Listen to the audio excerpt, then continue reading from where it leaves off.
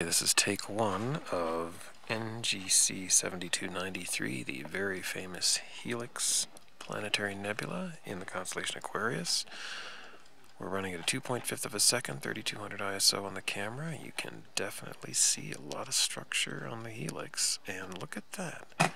We've got a satellite going right through the middle of it from up, well, from upper to lower. It's heading towards the left side of the screen. That's a satellite. Look at that. Um, anyway, Helix Nebula, looking through a Mewlon 250 telescope at f9.2, about 90 power. Got a 12 nanometer H alpha filter here, Gen 3 thin film image intensifier. And I suppose I could try to move this thing just a little bit. Run it up a little. Bring it back down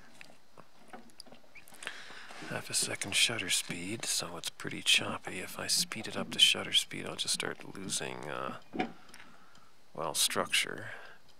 But this isn't bad. You can definitely see the helix. What a gorgeous planetary. It's probably the largest planetary nebula in the sky, at least in the northern, viewable for northern hemisphere folks. Magnitude 12.8 according to my computer. But that is very pretty.